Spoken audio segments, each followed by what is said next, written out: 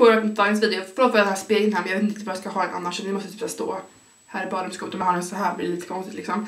Um, jag vill för dagens video testa en magnetisk ansiktsmask. Den här beställde jag en från Lux Plus. Och uh, ja, alltså jag vet inte om det här är något speciellt eller om det här är helt vanlig ansiktsmask. Jag har ingen aning men magnetisk mask låter väldigt coolt. Um, och den ser liksom ut så här. Jag kan länka den i beskrivningen om jag hittar den. Jag tänker testa den bara helt enkelt. Jag har precis skrivit ur duschen. Eh, jag vloggar idag så ni kanske sett den vloggen. Eh, för jag sa i vloggen att jag skulle filma den här videon. Så efter det här ska jag ta till. Sen ska jag ha den här, ta ur det och så här. Ja, lite minispa då. Jag tänker testa den. Så här ser den ut som sagt. Och här bak är det lite instruktioner. Det ser ut som typ såhär guava. Eller någon frukt. Men gud, det är papper och sen så är det liksom små kluttar på. Testar att veckla ut. Oh, här var det alldeles tunt. Nej men gud. Det, masken är jättetunn. Tänk om jag tar sönder den. Det spelar inte jättestor roll. Jaha, man ska öppna ännu mer här.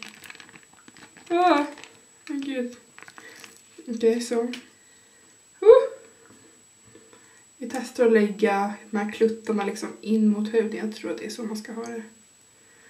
Men gud, jag har aldrig haft sån här förut faktiskt. Den känns lite obehaglig. Alltså jag är ju inte van med hela duk. Alltså jag brukar ha vanlig ansiktsmask som är kräm liksom annars.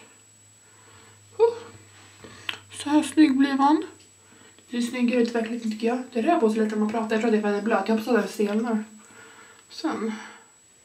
Fattar inte riktigt hur lång tid man ska ha på den. Jag tror en kvart, 20 minuter. Det var en liten klocka som de fyllt i lite. Jag tror att det är en kvart, 20 minuter men jag har ingen aning. Men Vi stoppar ner den här.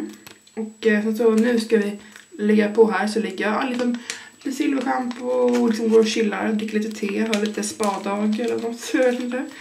Och så kommer jag tillbaka till det sen när jag är klar eller något.